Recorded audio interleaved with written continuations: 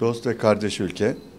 Bağımsız Makedonya Cumhuriyeti. После 30 годишно искуство во Турција како адвокат и правник, заедно со моите партнери решивме да отвориме канцеларија во Скопје, Република Македонија, наша пријателска земја, со 30 правници и околу 100 вработени во Измир ние сме едно правно биро и решивме да отвориме канцеларија во Македонија, а, заедно со тоа да действуваме и во околните земји. Тука ние влегуваме во стапуваме во акција како една фирма која што ќе ги спои македонците, турците, приватните, трговските фирми, организациите а, организациите и така натаму.